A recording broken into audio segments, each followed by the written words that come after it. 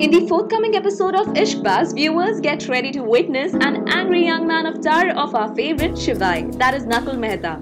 But why? Well, this high voltage drama eventuates when a lady shots his youngest brother Rudra down. Looks like something really interesting awaits for the viewers, so keep your eyes peeled for this one. So, what do you feel on this story? Leave your comments below. And for more television updates, subscribe our channel TV Prime Time.